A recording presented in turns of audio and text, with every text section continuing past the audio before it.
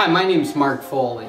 I'm with un-du Products and I'm going to show you a variety of uses that you'll be needing un-du for at home, ranging from removing gum to chapstick to price stickers.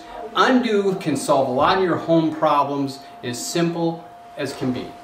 How about removing a self-sticking stamp off of an envelope that you inadvertently misaddressed? You no longer have to throw away that 44 cent stamp. Simply with un-du, you apply it to the top. Since it's porous, it will absorb the un-du. Lifts it off. This will evaporate and be gone. You'll never know it was there. But more importantly, you can reuse that stamp. So you never have to worry about ever losing a stamp again.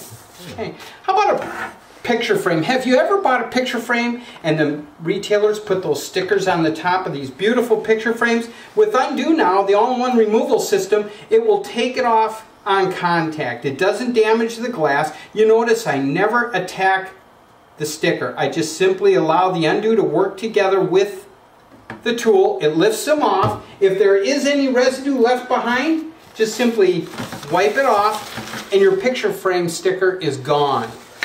It's getting to be the holiday seasons. How many times are you going to buy a book for anybody? If you buy a special gift in a book, it won't damage the book cover at all. Once again, you'll notice I don't fight with that. I just simply lift it off,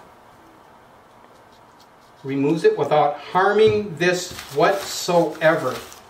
And there, your sticker's off your book. Ever have a situation where the kids, somebody left chapstick in their pocket? You take it out of the dryer, there's chapstick on the clothing, there's also chapstick on the in the dryer. With un-du, it will lift it right out. It will remove the chapstick, does nothing to the clothing at all, will not harm the clothing whatsoever, and you remove that chapstick. It also is very effective removing the chapstick or any kind of lip balm out of the dryer as well. Kids chew gum in your home like they do mine? Oh yeah.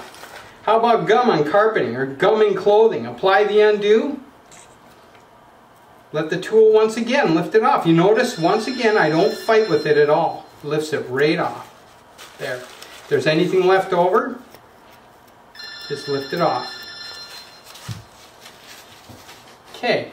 Oh, buy a nice wine glass. Got to remove the stickers they put all over it.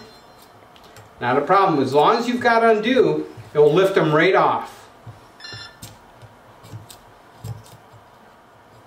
There we go.